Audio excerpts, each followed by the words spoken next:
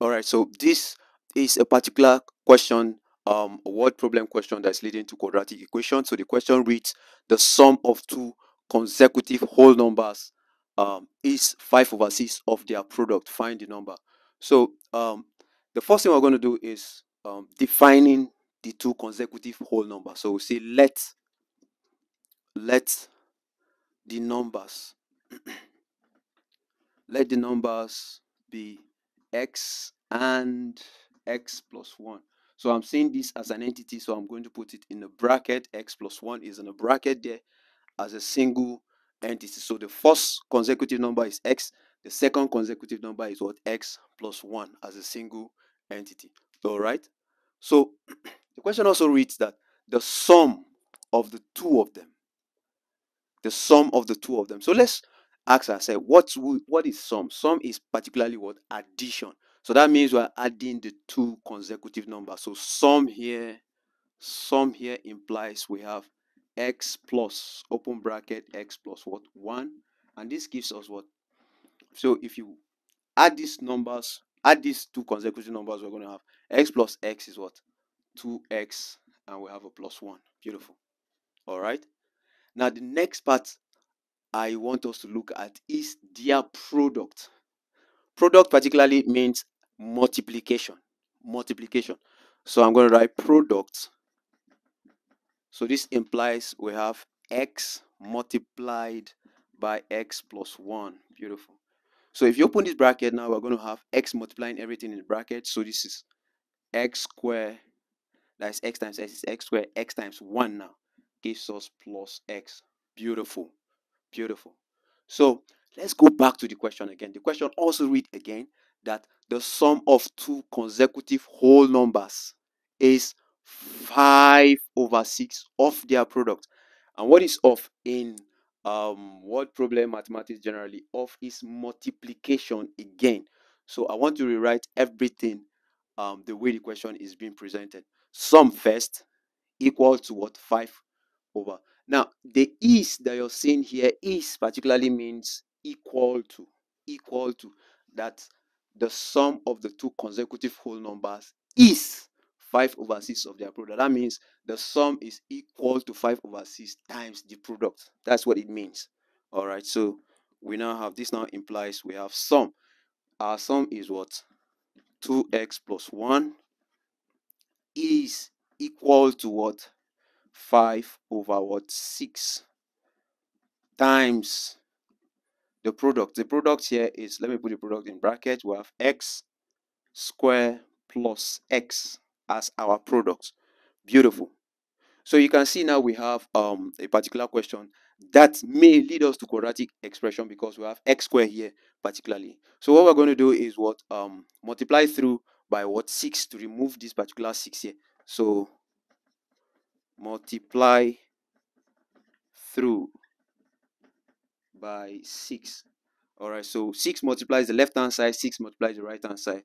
We have 6 open bracket 2x plus 1 to be equal to.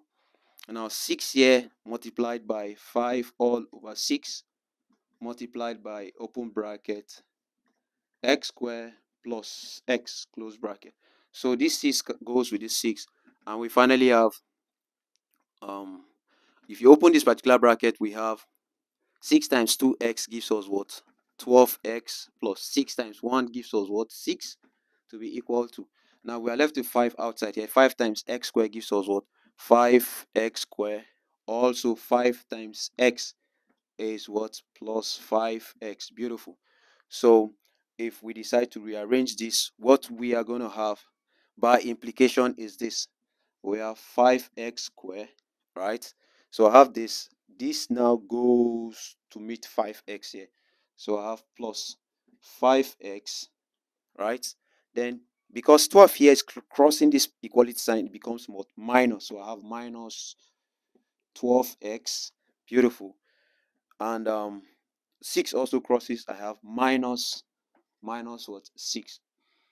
So, and finally we have 0 at the other side. So this now implies we have if you subtract what we have here, 5x minus 12x is equal to minus 7x. So we have 5x squared minus 7x minus 6 equal to what? 0 so this is the quadratic equation that this particular word problem leads us to. So what we are going to do is what? Factorize this particular word quadratic equation. Now look at the first term here. The first term has a coefficient of what? 5 and the constant term is what? Minus 6 so if you multiply the first term and the constant term you have what? 30 that is 5 multiplied by what? 6 5 multiplied by 6 gives us what? 30 so we have a minus 6 there. That means we have minus what? 30 beautiful. So the question now is this. The question now is this. What are the factors of 30 that when you add them together or subtract them you get what? 7 minus 7 beautiful. So it's basically is what? 3 and 10 3 times 10 is what? 30 then 10 minus 3 is what 7 but since we have what minus 7 here it will be what? Minus 10 and minus um 3 so this now implies we have 5x squared minus 10x plus 3x minus what 6 equal to what 0 so what are the factors here now? What are common between these two? Between these two what are common? And the other side what is common? So we have 5 here and 10 is the same thing as what 5 times 2 so if you factor out 5 5x we are going to be left with what? X here here right? Because the number of x here is 2 right minus. So 10 is same thing as well 5 times 2 so if you factor 5x out you have what? 2 beautiful. Plus. Now what is common here between the, these two? Now 3 is here right? And we have x here. Also 6 is same thing as what? 2 times 3 so I have minus what? 2 beautiful. Equal to what? 0 so finally these terms that are outside the bracket makes up a new bracket. So we have 5x plus 3 close bracket. And we pick this any of the brackets here x minus what 2 equal to what 0 all right? So i am going to i'm going to um clean up clean this side to just wrap up the question. All right? So so we have either either what? 5x plus what? 3 is equal to 0 or we have x minus 2 equal to what? 0 so if you take plus 3 to the other side like this side here you have 5x equal to what? minus 3 divide both side by 5 divide by 5 this goes and x here is equal to what?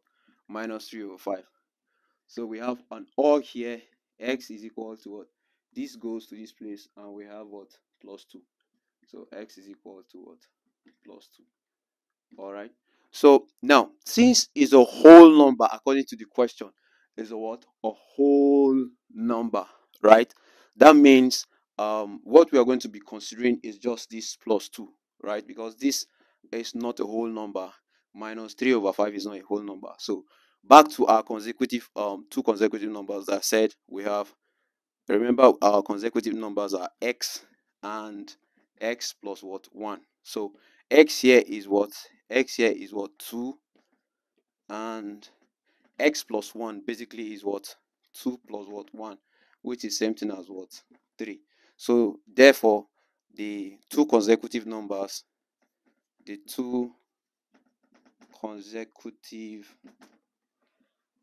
numbers numbers are 2 and 3 so that is all. Thank you guys for watching and see you in the next video